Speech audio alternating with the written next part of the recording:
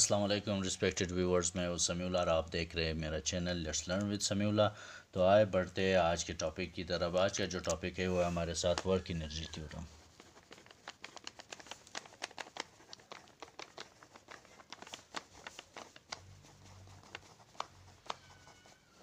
work energy theorem है क्या?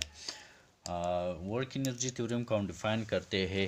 when a work is applied on a body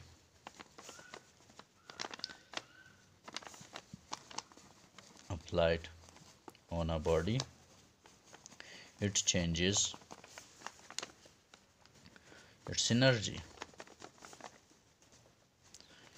Such theorem is known as work energy theorem or um, let us consider a body. A body starts motion with velocity velocity vi after some time t times t its velocity becomes velocity becomes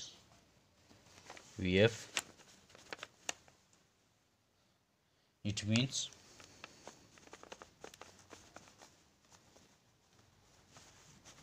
the body has done some work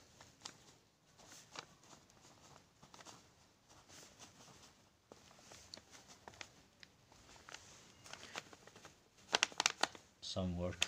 thus by definition of work we know that f is equal to f into df is equal to ma into d which is equal to equation number 1 is equal to w by second law of motion by uh, third equation of motion by third equation of motion equation of motion we know that 2ad is equal to vf square minus vi square. Or 2ad is equal to this. A is equal to vf square minus vi square divided by 2 into d.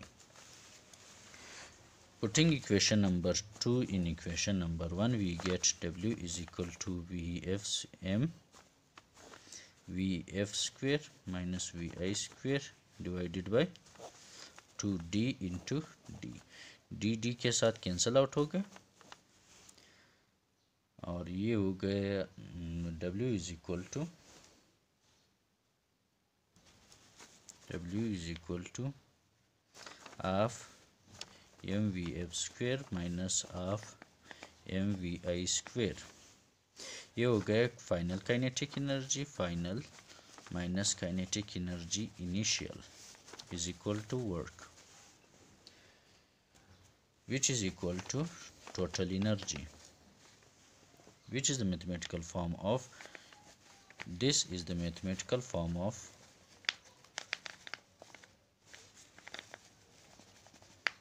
form of work energy work energy theorem stating that